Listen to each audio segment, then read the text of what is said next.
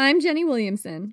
And I'm Jen McMenemy. And we're from Ancient History Fangirl. So, you're about to tune into Queen's podcast, and we're here to just give you a heads up. These two swear like a lot. Like a whole lot? So, if that's not your thing, this may not be the podcast for you. But if it is your thing, you're in the right place. And if you like your history tipsy and interspersed with F bombs, you might like us too. Check out Ancient History Fangirl wherever you get your podcasts. Enjoy the show. Hi, this is Katie. And this is Nathan. And you're listening to Queen's Podcast, the show about badass women in history.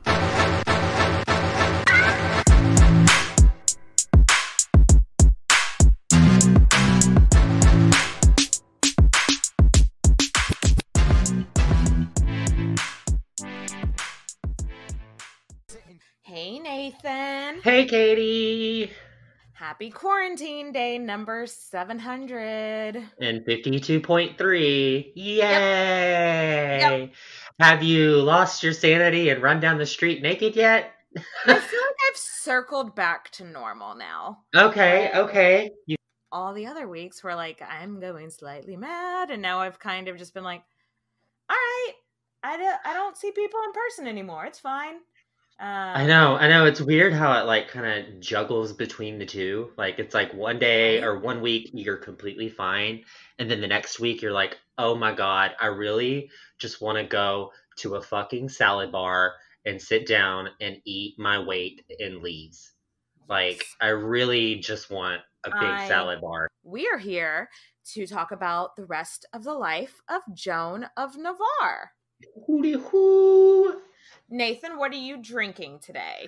So I just bummed out and I got some Dos Equis because I'm going to have some chicken wings and collard greens. Um, it's gonna be fabulous. And bitch, I make the best collard greens in the world. oh, interesting. So anyway, fun fact. Well, I am actually um doing dry May, which is like dry January, but in May. So I I found um this sparkling water at 7-Eleven that's um, watermelon flavored but supposed to be CBD infused. So I'm gonna give that a try. So let me crack that open. it sounds really good. Yeah, let's see what it tastes like. Ooh, I love the taste. I love watermelon though. So, anyway, okay, quick recap. Um, if you're jumping into this one without listening to the Joan of Navarre part one, you might want to go back and give that a listen. But to recap what we discussed, Joan was the daughter of the King of Navarre, and he was just crazy. Like I was a Yeah, nut. yeah, that was an understatement. Yeah. Um, on her mother's side, she was related to the King of France, was her first cousin. When she was a teenager, she was married to the Duke of Brittany, who it seems she had a pretty happy relationship with. They had a ton of kids. And then the Duke died, and she was regent of Brittany for a few years, and she was kind of rocking it. But then this bitch went and fell in love. Um, a man that she had previously met when she was just royal adjacent in exile was now the fucking king of England. And they're like sending some pretty hot and steamy little letters. I mean, even for the time where people kind of wrote more lovingly, extra. Theirs Um, were like obviously romantic. yes. Romantical letters. Romantical. I love it. Mhm, So mhm. finally, one day, a royal envoy from England shows up on the shores of Brittany with some like really fucking fancy jewels dripping in jewels de la Guanza, honey. Y'all. Um, which is like 15th century version of like, hey, um, the king wants to marry you and bone you, so. Uh... and now you're all caught up on episode one. so true. yeah, so she's being asked to become the freaking queen of England, but she's hesitant. which sounds that sounds insane to us, but for her, it was like a really hard decision. Yeah, I- it's weird that I don't know, like, why would she be hesitant to be the fucking Queen of England? Like in today's world, I'd, I'd jump to be the Queen of England. I mean, I'd have to have a sex change to be queen. Yeah. Um, but I would, I would do that. that option would be on the table. Things were a little different for her. First, um, you know, she was the regent of Brittany for her son, who's like 12, and she couldn't be both the Queen of England and the regent of Brittany at the same time. Mm. Um, remember, France and England are in the middle of the Hundred Years' War. Oh god, that thing. Yes, and Brittany is technically like French lands. And so they were not about to like, you know, the the people weren't like in their mind they're like, well, if you go and marry the king of England, the king of England's now going to be the regent for Brittany and they weren't into it. So if she was going to become the queen of England, she would have to give up her regency. Yeah, and not only not only like the the just the semantics of everything and the naming and like you know, sh- let's get like straight to the heart of it. She would have to leave her kids too. Yes. Like yeah, that's the other thing. Like that's that's an emotional thing. Yeah. Her eldest son was like already Duke, so he couldn't um obviously go with her even though he was still technically a child. And her other kids, she had a child that wa- one of her daughters was already married off to like a rich like duke or count or something. And her other two sons, you know, they were in line for the succession, so they had to stay there as well. So she only, out of all her kids, she only brought two of her daughters with her. Um, Yeah. and also she's leaving. She's been in Brittany, like she's she has roots there. People, know her. Yeah, she feels People secure there. her. hmm Yeah, and she's got like all that land. And she was a really wealthy duchess. Like the duke left her like really fucking well set off, so she wouldn't have to remarry if she didn't want to. Yeah. Um, so she's like, I don't know. Like, I don't know if I would have done it. I may have been like, well, I'm loved here. I have power here. I got plenty of money here. nah, bitch, I'm fine. My kids are here. yeah. And why would I want to go to a place where I don't know how people are going to react to me, you know? Yeah. Very unknown. But it must have been love. Oh my god, yes. they were, they just, I just really, really think that Joan and Henry, I mean, there was no other reason for their union besides that they were genuinely in love with each other. yeah, and he even like didn't expect her to bring a dowry, which is like hmm fucking huge. Like cuz that's 99% of the time that's what the marriage was arranged for. Right? you made This these might alliances become an on issue. purpose. This might become an issue later. In fact, like he made sure that she was like set up for her own sources of income once she like got to England. hmm So, but all we really need to know right now is that they fucking love each other and they're like head over heels. Crazy right now. Come on, so crazy right now. Katie, They're the crazy in love. They're crazy in love, is what I'm getting at. So she's made her decision. And like I said, I don't know if it's the decision I would have made, but I've never been, obviously, I've never been in the position where the King of England wants to marry me. So um, she's like, okay, I have to give up my spot as the regent of Brittany. But my son, even though 12 years old was the age of majority and he was 12, in all reality, he's not, he, he can't run shit by himself as a 12 year old. No, absolutely not. It's gonna So be she- some old guy. So she goes and puts a listing on indeed.com and Mhm. she's like, um, now accepting resumes for Regent of Brittany. Um, must have ties to French royal family, two to five years previous previous regency experience. Please include a cover letter and three references. Indeed.com. Yield indeed.com. no, but really, the choice really wasn't that tough.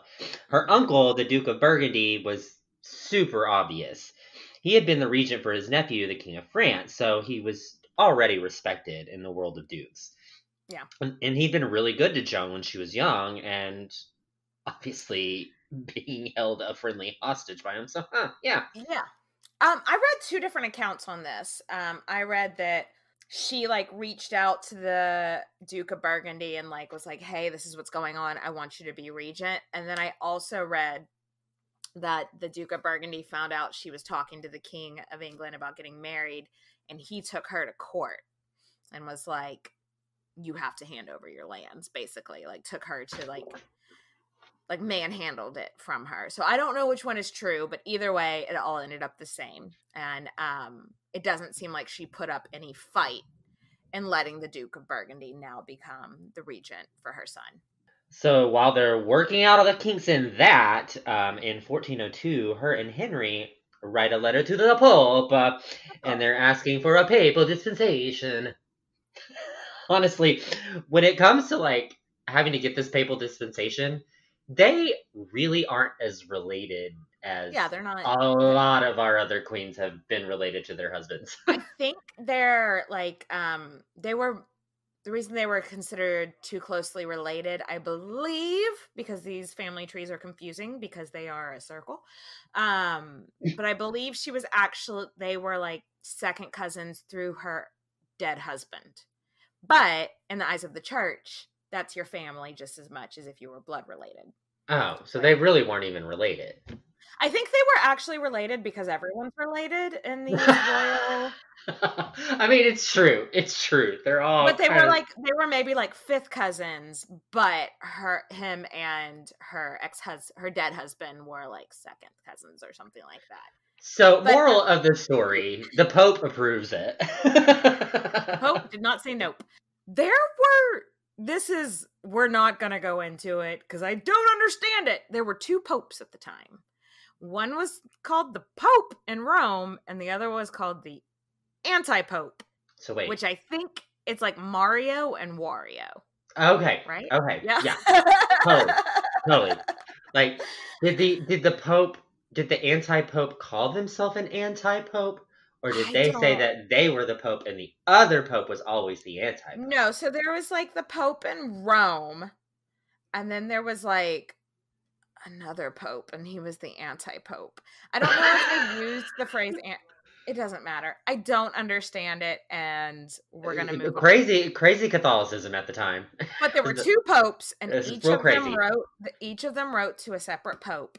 Joan got the approval from the regular pope, and so before so the other pope had a chance to respond, and so they just went good enough for us. So so confused. it was like England supported one pope and France supported another pope.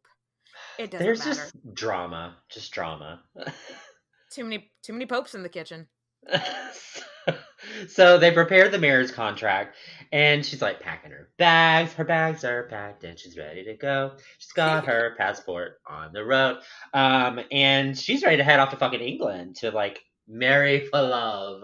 How many? We just really haven't had that many queens that we've discussed that married for like actual, just like I'm. Yeah, we've. I think we've talked about mistresses and things like that that were Yeah. in love with their kings, and you know, kings were head over heels, but not queens. I mean, I think Elizabeth Woodville may be an exception. Yeah, Elizabeth Woodville. What they married for love, and I think um Theodora Yes, and Justine were I actually really think in that's love. like it. Yeah, I think Mary Queen of Scots married her first husband for love, and then real quickly went, "Oh no, Control Z, no thank you." so, anyway, so she gets this text from her cousin, you know, Joan, that is, and the King of France is like pissed. Like, I mean, the King of France pissed. has the right to be pissed. Also, the King of France wasn't necessarily lucid at this time, so it may have been his people. But they're like, hey, you're going to marry the dude that almost definitely murdered our son in law, right? And she was just like, new phone. I know, like, eh, she, how did, what? That it just it's gonna make I can family see. reunions awkward as fuck. real fucking awkward. Yeah, yeah, real fucking awkward. so the day comes and Joan and her daughters and this big ass crew of Britons set sail for England. And Henry had also sent two of his half brothers to like escort her back. And these brothers' last names were Beaufort, which probably rings a bell to some people. Yeah, if you're a War of the Roses fan, you probably know the last name Beaufort. Anyway, They leave the day after Christmas, 1402, and set sail for England. Uh, Boxing Day for my UK friends. What is Boxing Day? It's the day after Christmas. It's a holiday in the UK. What it is it putting away all the boxes?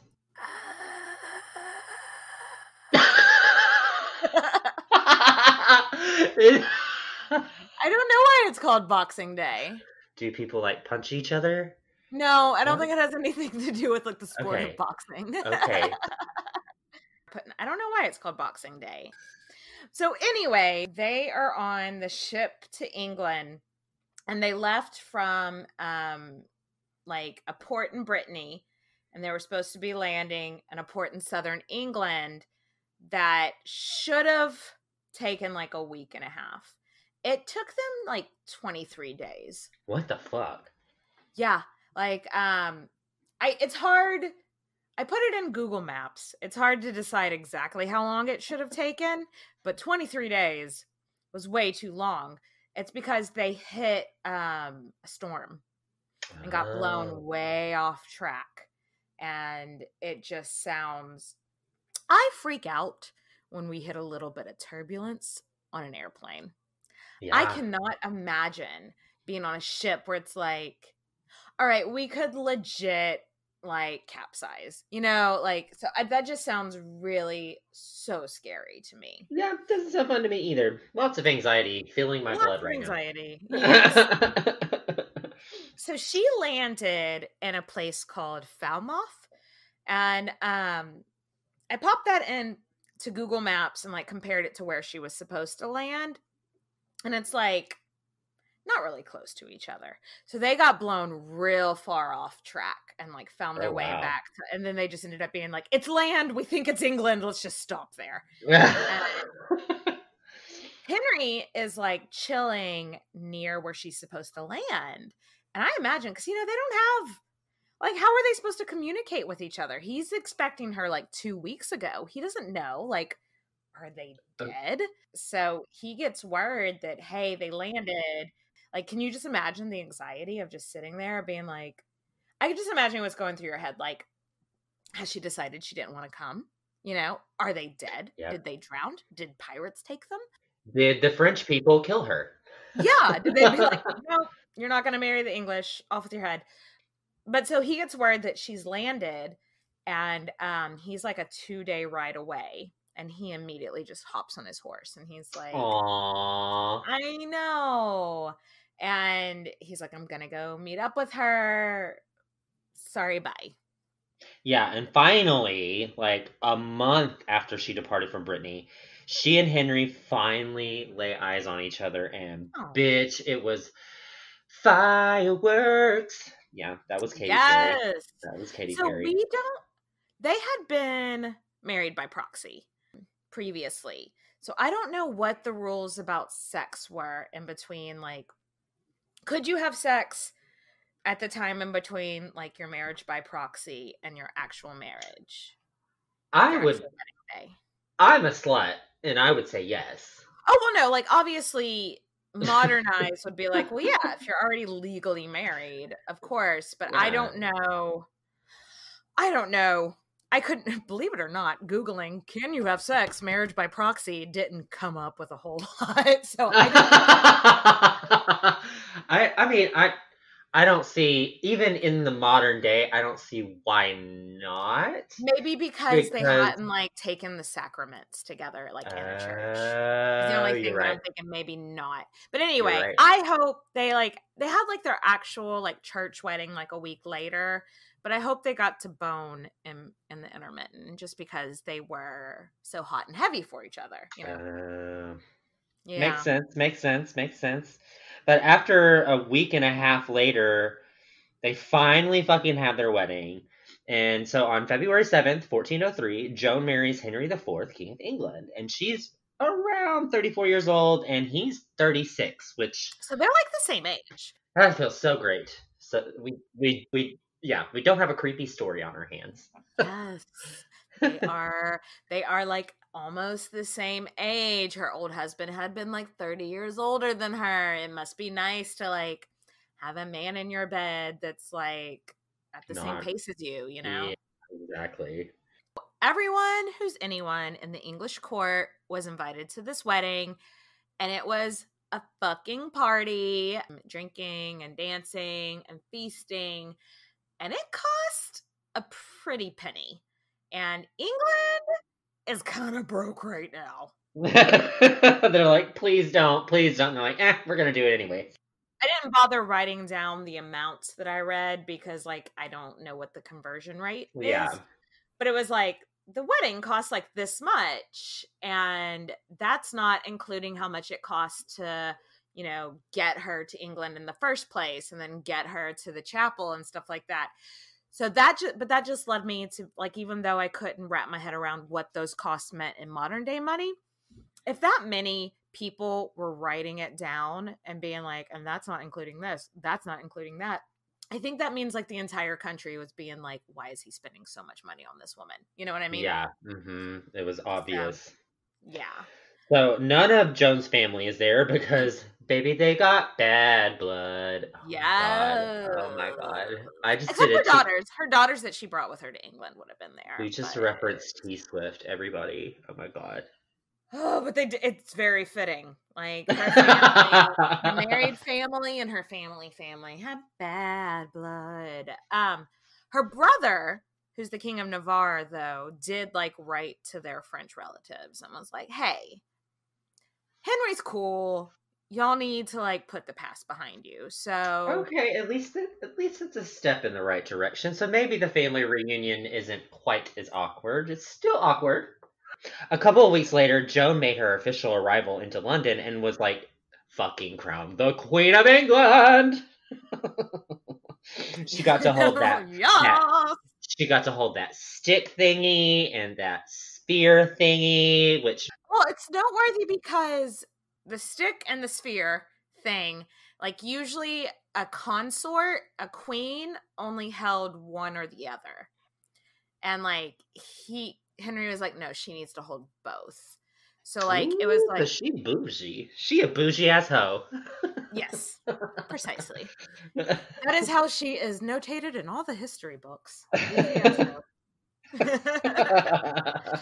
her day on her coronation day um the chroniclers wrote that she was beautiful but snobby so Ooh, so they're mating.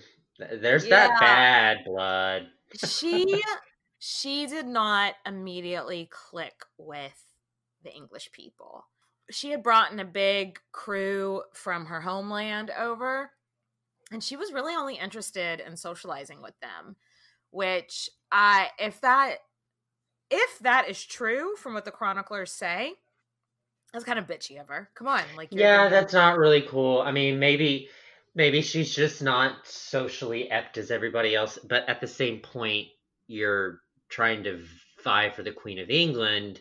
You need to reach out to the English. Or, or maybe people were just looking for reasons to not like her because you can't shit talk the king, but you can shit talk the queen. Hmm, you mean to tell me, Katie, that women get a bad reputation because people are unhappy with their husbands? Yes, yes, believe it or not, this has happened in history once or twice before. Oh my god, you mean people can't blame the king so the queen gets all the shit? Ugh, that must that must suck. This is completely new, brand new information that we've never discussed before. No, this happens all the fucking time. People are pissed off at the king, so they take it off, take it out on the queen because you can't shit talk the king. It's So yeah, it's are- it's not it's not Henry's fault that the wedding cost so much. It's her fault. Her fault that she he asked her to marry him and come to England. It's her Right? fault. and it's her fault that he threw her an expensive coronation. And it's her fault that, you know, like it's just so stupid. Henry, like we mentioned this in the last episode, Henry basically usurped the crown Mhm. and took took the kingship for himself from his cousin. And so there had been a lot of uprisings. yeah. So, a strategic marriage that brought him a lot of um, foreign allies and a lot of money would have been much preferred by everybody else in the country. But that's not what he did. he was in love. He married a woman that he loved that did not bring him any allies and did not bring him any money because he's thinking with his heart, not his brain. And so the entire country is pissed off at him for marrying for love. But like we said, you can't walk around being like, with the dumbass, like fucking king married some chick that's not going to bring us any money when we're broke. You can't say that. So Yeah. so everyone's like, well, she's a snob, you know. yeah So that's just that's just me putting my educated guess on the situation. And I think it's a pretty good educated guess because Joan didn't come with any alliances. If Mm-mm. anything, it really pissed off like their most powerful enemy in the world, France. Yeah.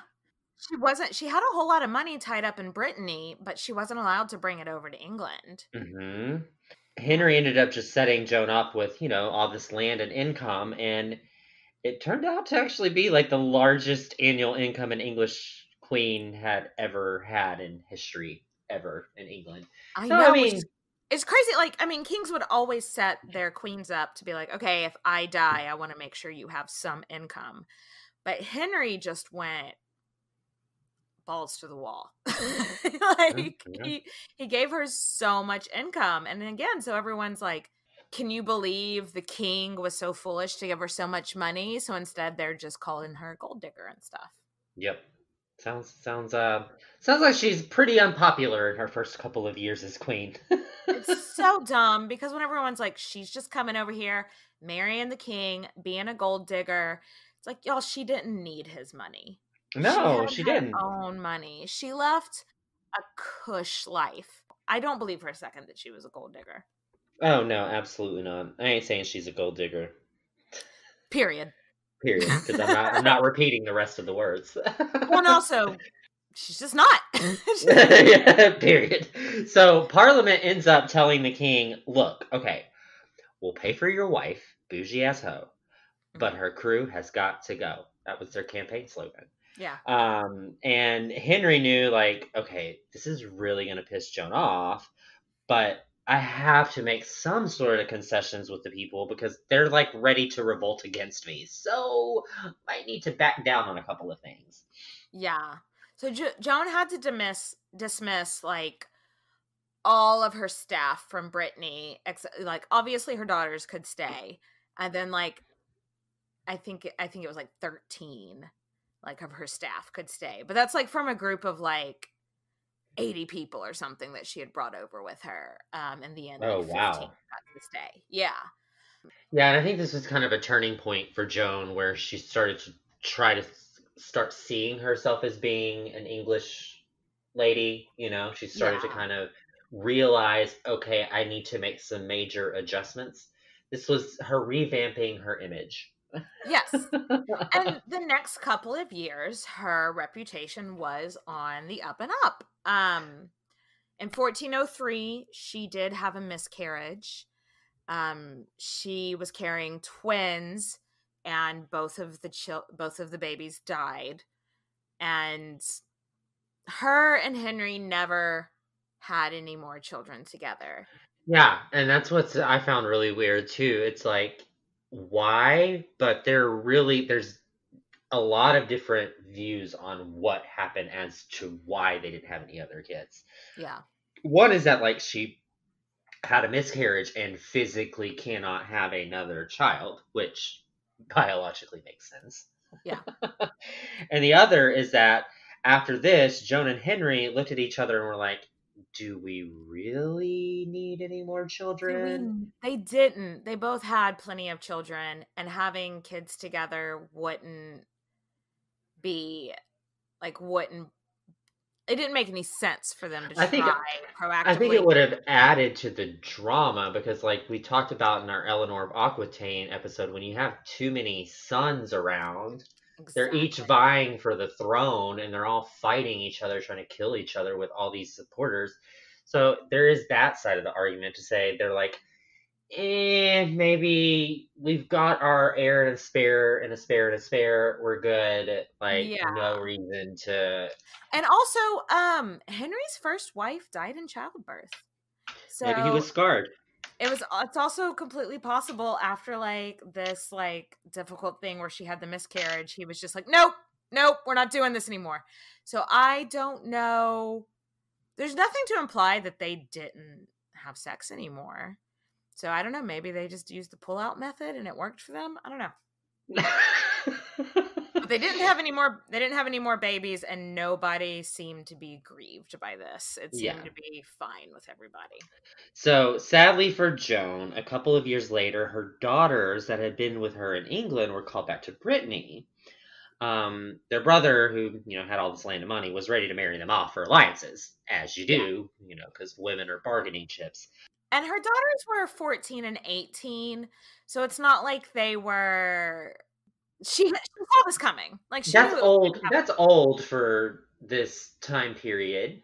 14 was about average. 14 was about average and 18 they were actually married in like a double ceremony. They were married on the same day to two like different powerful dudes like at the like a so like it was like a whole alliance thing between Brittany Well, look, there you go. They saved money by having just one wedding. Yes, exactly. I mean, one wedding, one reception. I mean, two, come on. Yeah, yeah. They had she had to be expecting that for a long time, but still it was probably like a bummer to see her daughters go.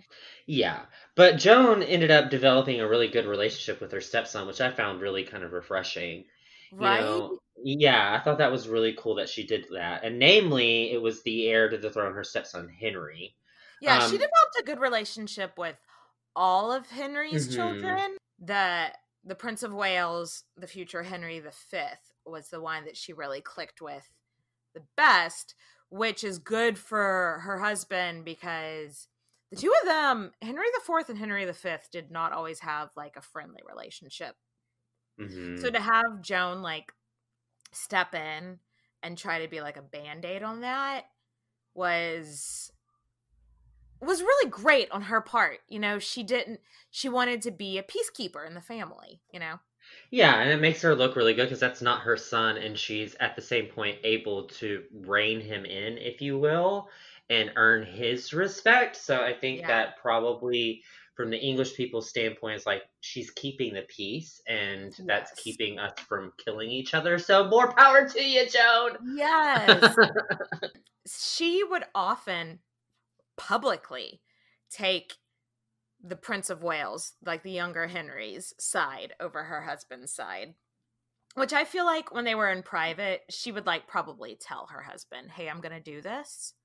Because cuz like obviously if you're I think rule number 1 of marriage is don't take somebody else's side in front of your spouse like in front of Yeah. big group. So she was probably like, "Look, I'm going to do this because We've talked about how queens would like beg for mercy and like the Yeah. story thing Yeah. that was her way of doing this like i'm gonna publicly take your son's side so that you can like do like reluctantly take his side as well and cause peace in the reign. so yeah. It, it endeared the court to her Yeah, yeah. And honestly, like I was mentioning earlier, sons and kings and usually don't get along. Um, there's a lot of fighting. Yeah, not always, you know, 50-50. Sometimes they're just really they're cool with each other and then other times it's like they just want to overthrow them. well we've seen we've talked about that and it feels like so specifically in England that kept happening. We talked about that in the Eleanor of Aquitaine episode. We talked about that in the Matilda of Flanders episode, where like sons are trying to overthrow their old dad as king. Um, yeah, Joan did a real good part of just like keeping the peace there. Mhm. Sadly, though, during the first year of their marriage, there was like a really, really significant uprising. Oh And- yeah. and Henry went off to fight along with his son Henry. Um, so this uprising was happening on two fronts. One was happening up in Northumberland, which is like north of England or like northern England, and another part was happening in Wales. Like the uprising was coming at them from both ends. So it took a lot of Henry's time and attention away from her. And it all kind of came to a head in a battle called the Battle of Shrewsbury, which is a pretty famous battle. We won't go into it in detail because Joan wasn't there. It was a big fucking deal. Henry won, which was also a big fucking deal because he was fighting the battle on two fronts. So Yeah. it's awesome. But can you just imagine Joan sitting at home? It's not like I just imagine she must have just been like knots in her stomach this whole time because it's like oh, I, she's not new to this party. well, no, but she's like she's not she's not an established queen. Like she's only been queen for like a year. She's Yeah, not like someone that's beloved by the people. Yeah, She's I mean they like- they think that she's a fucking gold digger. She doesn't have any allies that are gonna come save her. You know, France is Mhm. pissed off at her. So if her husband loses and is killed in battle, what is gonna happen to me? Uh, probably gonna be killed too. Um, never know. Never so know. imagine she's just sitting at home praying so hard. Yeah, you know, just- doomsday scenarios running all in her head. Hard same, hard same. Oh Joan. my I'm God, feeling I the just- same way. I- I just have to imagine her mind went to some bleak places. Oh, during this time fuck yeah. life. But Henry and his team ended up winning in the end. So young Henry, the Prince of Wales, was fucking shot in the face with an arrow. In the face. In, In the the face Ages. with an arrow. In the Guys. Middle Ages. In the face. He survived. Ah. Ah. I Uh, went that down I oh went down this rabbit hole because like the um journals of the doctor who removed the arrow from his face survive. I went down the most gruesome little rabbit hole about this shit. ooh. About like because he wrote down like his whole technique on how he removed it and what he did and like what he did first and what he did next. And I want I'm actually kind of interested, and I know a lot of people would be disgusted by this, but I'm one of those weirdos that kind of like is like, ooh, I want to know more. I, can't, I didn't write down the name of the doctor on in our notes here, but it's it was super easy for me to find via Google. If you just Google like Henry V shot in the face, doctor, you'll find it. I because I'm just reading this, being like, this man had this extracted. It hit him um under like in between the space between your eye and the bridge of your nose. And okay, and the exited arrow, out the the bottom. arrow like went in in and the doctor removed it without any like modern day painkillers Oh, just half a shunga. Like, I'm sorry, I- I'm speaking in tongues, guys. I'm Exactly. tongues. Oh, I couldn't even imagine a tooth extraction without painkillers. oh oh no anyway henry comes home from this more than a little bit bitter. Like y'all need to stop revolting against me. Y'all need to get fucking used to this. I am the goddamn king. And so he decides to make some pretty high profile executions without a trial by jury. If joan did any of that you know like chivalrous like show the mercy queen thing it was hard and ignored and it's not Yeah, documented well, she's fucking pissed the fuck off. I mean, she i don't was think really did. fucking. i don't think yeah i don't She was- think she begged mercy for these men at all No, she was clutching her pearls or her rosary beads, praying to baby Jesus, trying not to kill her. Yes. After this whole, she she ain't gonna care about them and no mo. henry had an archbishop the archbishop of york executed Ooh, that's always that's always a bad PR move. Anytime you execute, yeah, it was a bad pr move and a, such a high profile yeah, because archbishops are like what they're like princes of the church basically yeah. They are they are way up there. You know, they are. he was excommunicated by the Pope for a couple of years as a result of it. But it was it was a power move. It was basically to be like, you think I'm scared of y'all? you think I'm scared Yeah. of y'all? I'm gonna have this guy. I'm gonna have this guy who is protected by the fucking Pope executed without a trial, and then y'all come to me acting like I'm scared of y'all. No, Yeah, it was this was a it was a pissing contest for sure.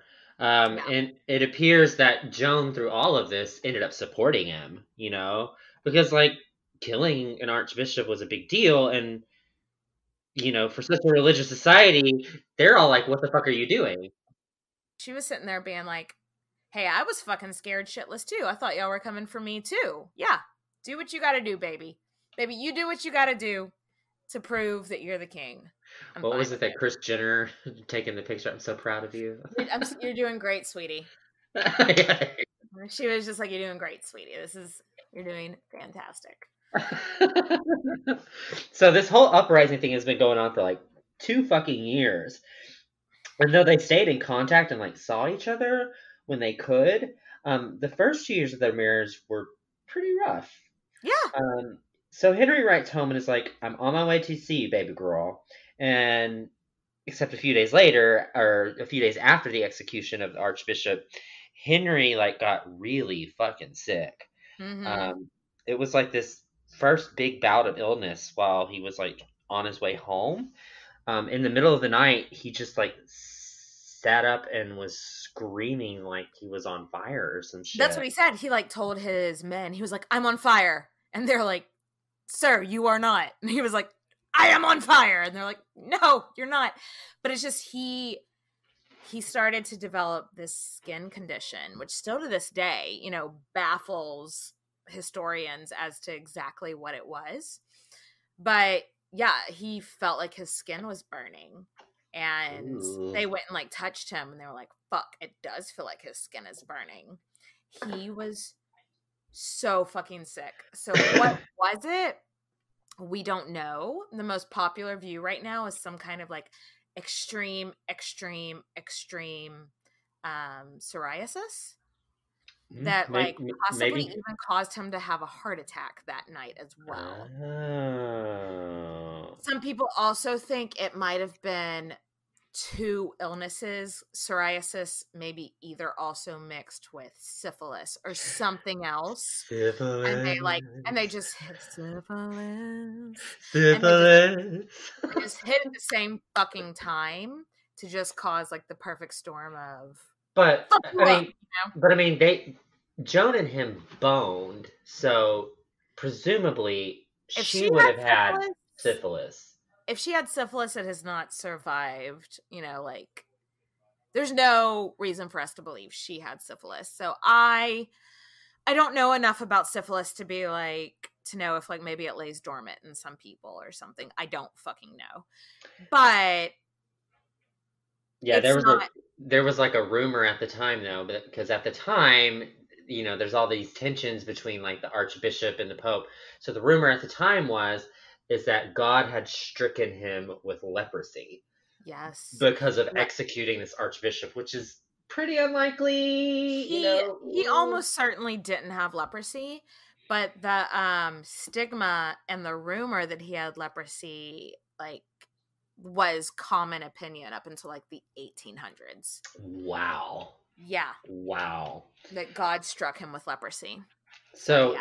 Joan, of course, is distraught. So she rushes to go see him, and they're reunited. And from the descriptions of how he looked, it's kind of fucking gross. i mean i read that like the flesh was rotting off of him I mean, that sounds like leprosy.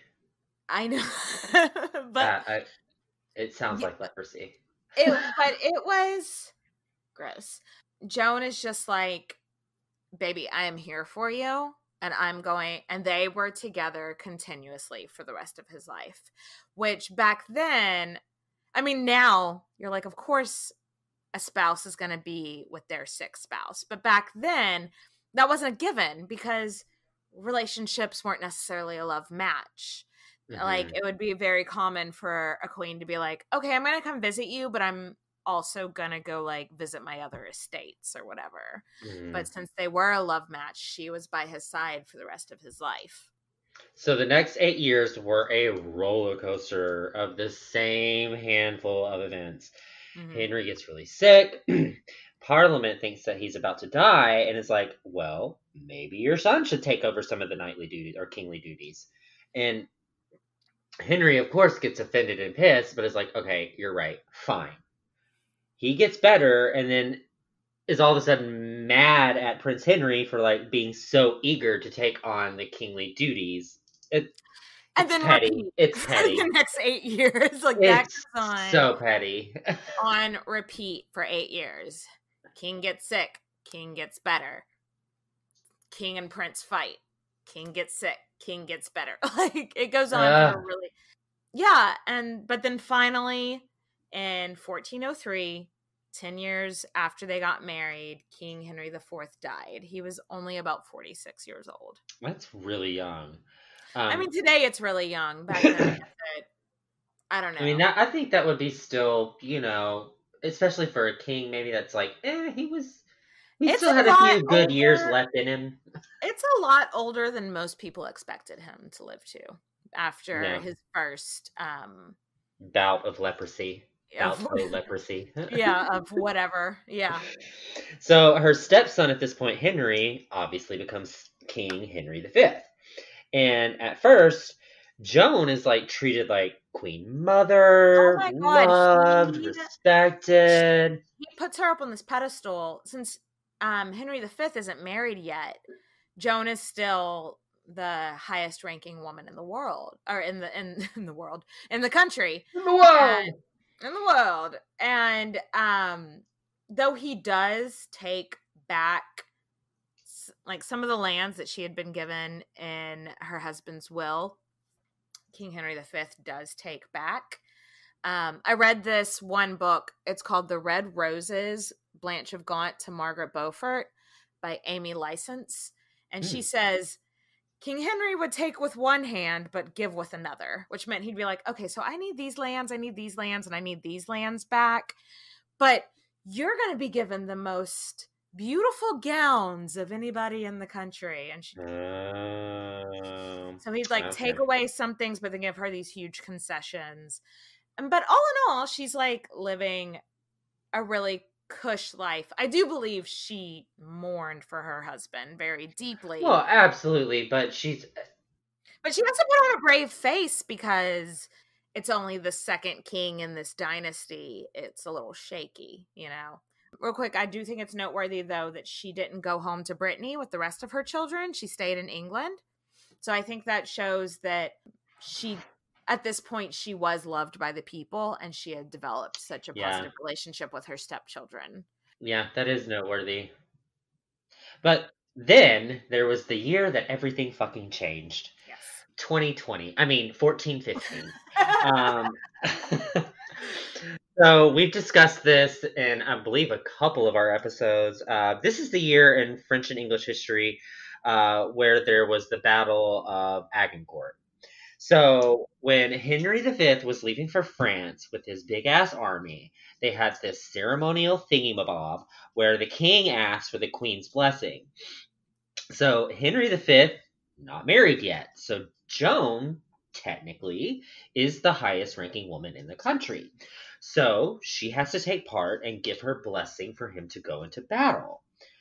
Which think she may have had a little bit of mixed emotions about. Uh, right because she's half french and so Yeah. many of the people and um i am not a 100% sure i read mixed things as well um but i think also her brother in navarre um had si- had like ended up siding with his french relatives as well and was fighting on the french side in this battle as well so she's basically like, yeah, go off and fight my family.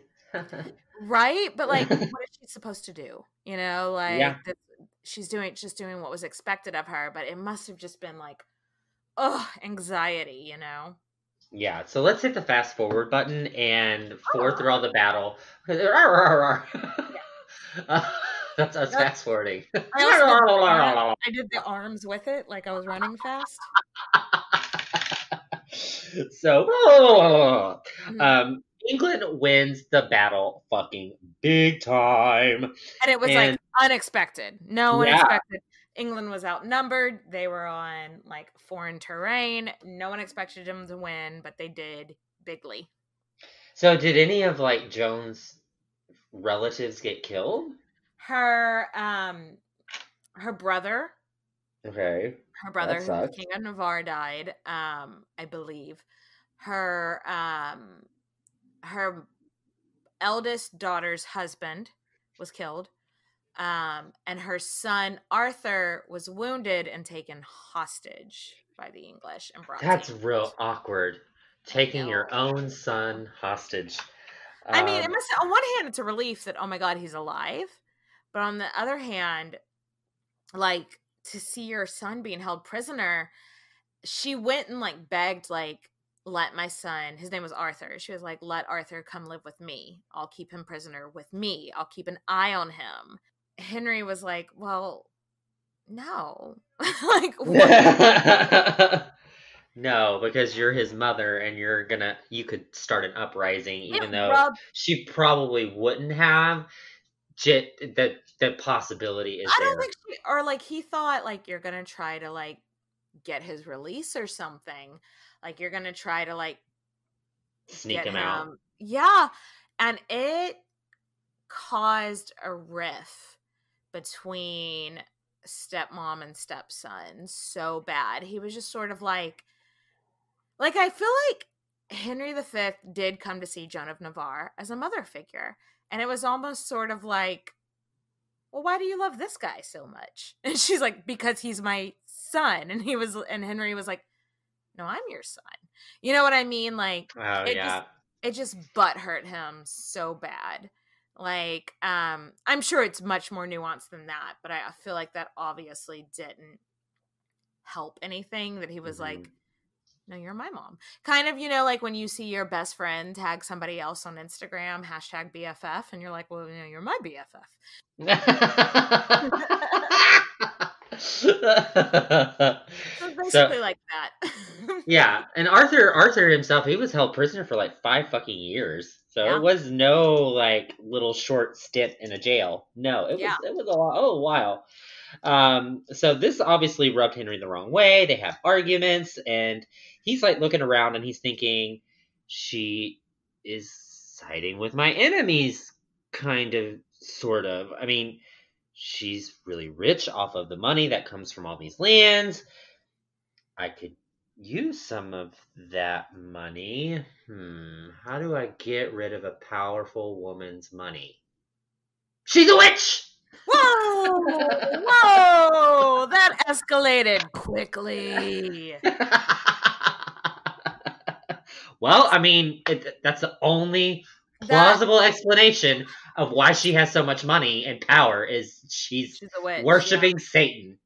So Henry's got this new wife coming up. Like he's trying to negotiate with him marrying a French princess. But the French princess is gonna be whole lot of money, money. And he doesn't mm. have a whole lot of money, money. Joan has a whole lot of money, money. And he's just like, I I'm annoyed with her. I need that money. I'm I need a reason I need a reason to take it from her that no one is going to question me about. The witch You is know? the perfect fucking mechanism. And Henry V is a dramatic character. This guy is drama. And he's all about bold statements and actions. And this is a bold statement and action declaring that a queen um, dowager is practicing witchcraft against you. They say Yeah. what they say, what they end up saying is that um, Jones Joan told her confessor that she was like wanting Henry to die and practicing spells against him and stuff like that. And um So they basically got uh they coerced a priest to lie, basically. Yes. and also because I I've never been to confession. I'm not Catholic. Um, but isn't that supposed to be the things you tell your confessor? Secret, secret. I got a secret. yeah, you're not supposed to. They're not supposed to say anything. And So it his, her confessor was almost definitely, um, if not tortured, like um, given the threat of torture. You know, like you need or to paid very well.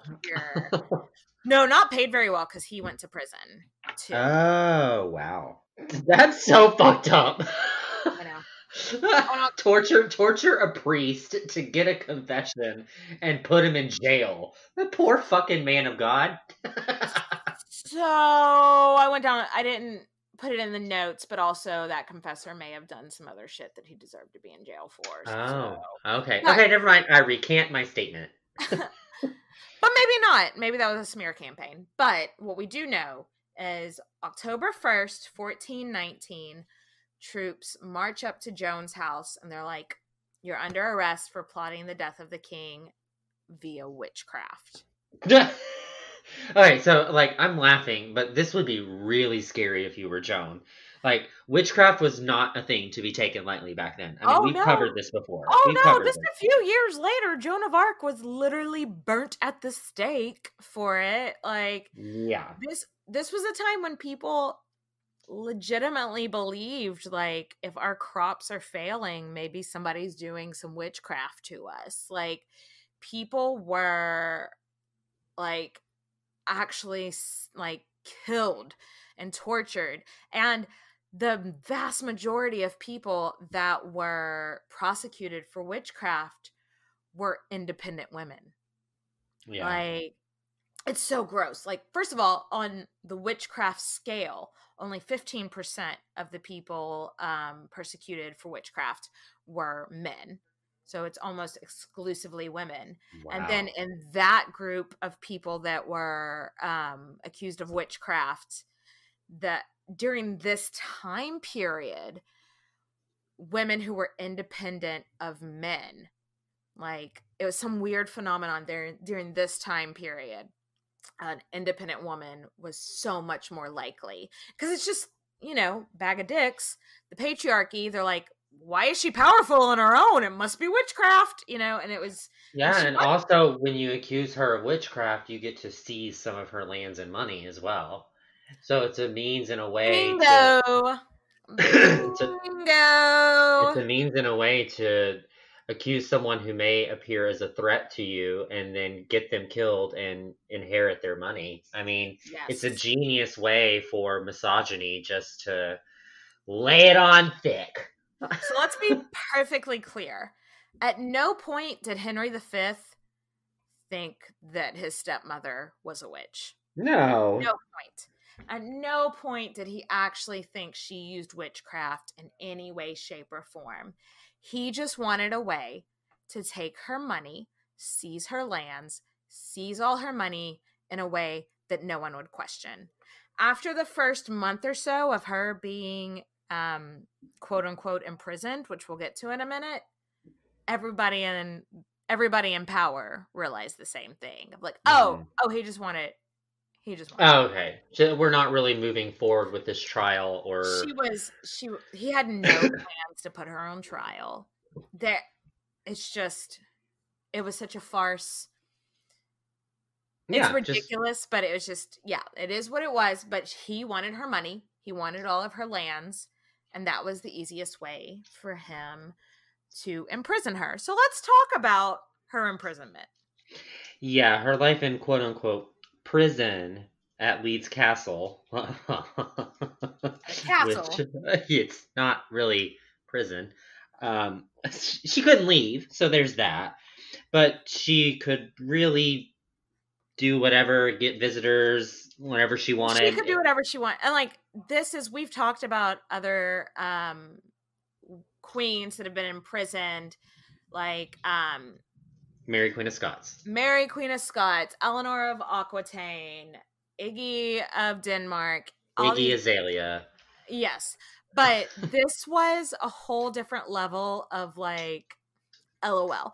Like, um, you know, because with even with the most cush of the queens in prison that we've discussed, like Eleanor of Aquitaine, where she was still like living in palaces and still had servants and stuff like that. Her letters were monitored. Her visit, she couldn't have visitors. The only rule that Joan had was you can't leave. She had visitors. She held banquets. She got bored one day and ordered like the equivalent of like a million dollars in fabric to have new dresses done. Oh, so she did she did basically the equivalent of what I'm doing now with my Amazon purchases in quarantine. Yes, she went crazy on Amazon Prime, y'all. Like she, delivery, delivery, delivery every day, knocking on the door, leave it at the doorstep. Don't bother go- me. she'd go horseback riding. She there's even some people think she took a lover because this one guy came and stayed for like six months. Huh. Sounds like it. I don't know. Maybe they were friends. I don't know. But like when you look at the people that she entertained, like and her visitors that she had, she had archbishops come and stay with her. Yeah. She had dukes come and stay with her. If she was actually, if anybody in the world actually thought that she was practicing witchcraft, archbishops wouldn't be coming and having dinner with her, you know? Yeah. I think that she really liked to have her freedom, you know, and Well, think yeah, she- she would have preferred to have been able to go where she wanted, but but I mean, this isn't too shabby. I mean, it's not horrible. I mean, like, I guess she had that hanging over her head the whole time of like, oh, maybe we'll put you on trial for witchcraft, like, so she didn't try to like step out of line. No, I wonder. I wonder if sh her and we don't know. Maybe her and Henry talked about it. Maybe he wrote her a letter being like, "Hey, I'm having to do this for X, Y, Z reasons." We, I, don't would be know. surprised. I mean, that that honestly, you know, Yeah. makes sense to me. I don't know. This I found really interesting. Her son, the Duke of Brittany, did like at first send an envoy to try to get her out of prison, but instead, Brittany and England ended up signing a treaty of eternal friendship. what? They just dropped the whole get my mom out of prison thing. So there must have been some kind of agreement of like, look, we're not going to hurt your mom. She's fine. Oh my God, a treaty of eternal friendship. yep. Yep. hmm That's all a bunch of lies, France. or Bedford. Anyway. sorry. just as suddenly as she had been imprisoned in 1422 she was released. Nice. like like so she had been in prison for about three years again quote unquote prison for about three years in her castle. And then in 1422 henry v is on his deathbed. And um he calls his stepmother to his bedside. And the conversation we have to assume went something like this. Are you ready for some Queen's Podcast Theatre? queen's podcast theater I will be playing the part of Henry V. and I will be Joan of Navarre. Hey, we cool, right? I mean, you did accuse me of witchcraft, and this is the Middle Ages. Let's so- just uh, let's just put let's uh, the first of let's just put that all aside. Mhm. How about I give you like all of your money back and also you're free. All right, cool. I'm over it. A pause, a pause. Thank you, thank you. Yeah. So it like they just acted like it never happened, and then Henry V died. And and Joan is given almost all of her lands and money back. So she's 54 years old. She's not trying to get married again. Um, but also she's not trying to be no nun in a fucking convent like so many other of them. a lot of um wealthy and important widows from the time after their like husbands and sons or whatever died they would become nuns but she was like no i'm just gonna set up my own court over in my own castle and she more or less kind of like disappears from court records except for like big things like baptisms and stuff like that you know Yeah, she kind of just fell off the radar, didn't really participate in politics again, which is probably because of the whole witchcraft thing. Maybe left a bad taste in her mouth, but eh. yes um, I but think that she just went off to her castle because we know she had her own little court and her own little castle. And I think her and her ladies just kind of sat around drinking champagne, playing cards, ordering dresses on Amazon. That Like, sounds next. like a fabulous time. I think that's what she did. So, Um, sadly, Joan died in 1437 at the age of 68. And in true fashion, she was given a great, a lavish funeral and was buried next to Henry in Canterbury Cathedral, which me and Katie were talking about this right before we recorded. Um, typically, kings would be married to the wives that they had all their children with. Well, they'd And be in- buried next to Buried them. next to, excuse me, yeah. They would also be married to the wives that they had all the children. yeah, buried, not married. But he Uh, was not buried next to his baby mama, um, his first wife. He was buried next to Joan. so that kind of can just give you a little clue of they really were head over They heels. just they just loved each other, and I think they just saw eye to eye on everything. It's reminding wish- me very, very similar to the um, Agrippina and Germanicus sort Yeah. of relationship I as just- well. You know, letters from their courtship or whatever survive, but there's not letters from their actual marriage that survive because they were always together. But I wish that. I wish that they did survive so we could like kind of have a more like look into what a marriage of love was like between a king and a queen. Because it's very rare. yeah. Anyway, so Joan's reputation saw crazy highs and crazy lows throughout her life. She's not even mentioned in the Henry IV Shakespeare play. Which is insane to me, but whatever. She was mainly like a forgotten queen for a really long time, but now that things like um the Wars of the Roses and the Hundred Years' War are coming back into like popularity and like historical fiction, she started to have a bit of a um, you know reprieve in um, popular culture, which I think I think we're going to find out more about her in the next coming years. I really do, Yeah, and well deserved too. and I think she was smarter than a lot of people gave her credit for. Mhm. And fucking, let's raise. Let's raise a glass of sparkling CBD oil water to our Joan. Cheers, Cheers. Joan.